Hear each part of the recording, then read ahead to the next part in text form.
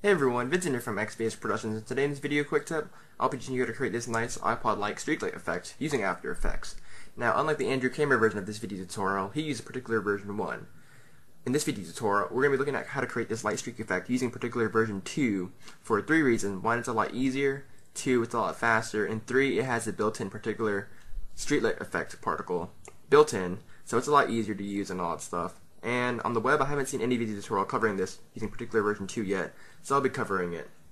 But basically, it's a lot faster, and here's a preview of what we're going to be creating. So as you see, it reminds you of the iPod Nano commercials about two years ago, the chromatic with the silhouettes and people dancing around in the dark, and they have their iPods and the light streaks following the iPod. So that's the preview, and let's get let's get started with this video tutorial. We're going to create a new composition and we're to name it main comp. I'm to make my width and height 1280 by 720, so basically 720p, 30 seconds long, and click OK.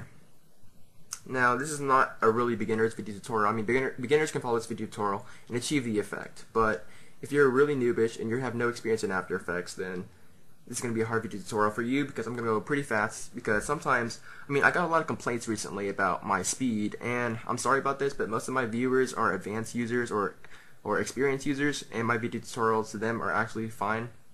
The speed's not that fast, and you guys are complaining about how fast it is, and you guys are complaining how you have to pause every once in a while. Well, I'm doing this video tutorial real time. I'm creating the light streaks in real time right now.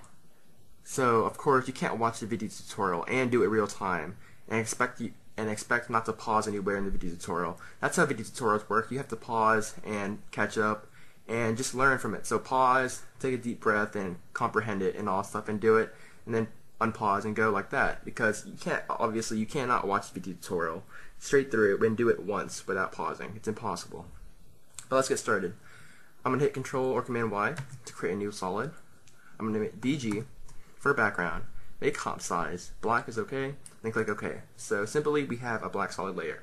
Easy enough. We're going to create a null object. So go to Layer, new null object and it creates a null object right here. Hit enter and name it control. And then we're going to change it to a 3D layer. So under the cube right here hit the 3D knob to make it a 3D layer. We're going to create a new light layer new light. And we're going to name it emitter with a capital E. Then click OK and we're going to hit P for the emitter. So click on the emitter, hit P on the keyboard, and hit P on the control. So we've got the position. We're going to click on the emitter, hold down the Alt key, and hit the stopwatch for position. That brings up the expression expression controls for the emitter. We're going to hold the pick whip and pick whip the position to the controls position. That makes that means that if we move the control, it's going to move the emitter as well. And so, and for the control, we're to alt click on the position, stopwatch. And now usually in your own projects, you want full control, you want to control your light streaks. But in this video tutorial, I'm to make an easy expression to move the particles around for you. So I'm to type in wiggle, parentheses, 1, 500.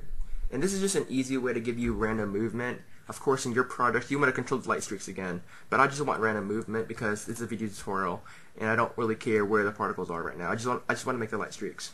So we have our null object moving around in random space, but of course you have to animate yourself in your projects. So now we're done with that. We're going to go Control or Command Y again to create a new layer, and we're going to hit, we're going to name it part particular, make it main comp, click OK and go to the effects and presets and search in particular. Now, of course, this is a paid plugin, so you need to go to redgiantsoftware.com and buy Trapcode Particular. And version 2, drag that into the particular layer.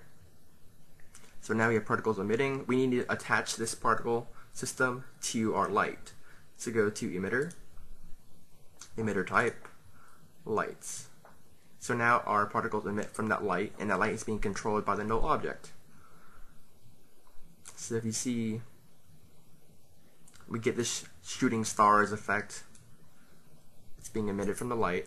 And that's looking good. We're going to go to the velocity and change it to zero. So now it's a little string. And that might be what you're looking for, but that's not what we're achieving, so let's go to velocity random 0 and velocity dist distribution to 0 and emitter size to 0 emitter size y to 0 and emitter size z to 0 so you get a solid string. We're going to go to the particle. Oh and change the pre-run to 100 so it starts automatically when it's emitted. And go to the particle tab and we're going to go change the particle type to streaklet. And the streaklet particle type is only in particular version 2 that's why we're using this version so as you see it didn't look like streaklets at all we need to increase the size to about 30 so already we start to get the streaklet effect we're going to change the transfer mode to add and change the color to whatever color you want, but relatively dark color. I want a blue color, so I'm going to choose a dark blue. And because it's in additive mode, we need to choose a dark color. So we get this nice light streak effect. Now as you see, our particles are like breaking apart. So we need to fill those gaps in by increasing the particles per second. And just pump that up until you get a solid streaklet. Now you don't want to overdo it or else it's going to kill render time. But like that.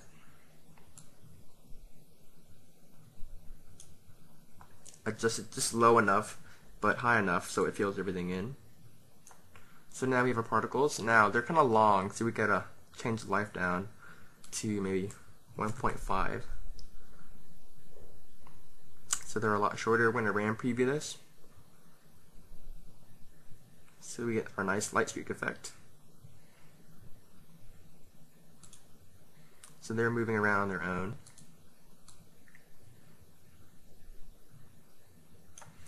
So, and then we're going to go to maybe opacity over life.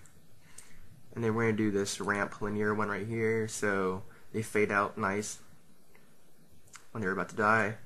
And if you want to go even further, you can change the size over life and do the same thing. The particles get a lot smaller. But I like mine by default like that random preview.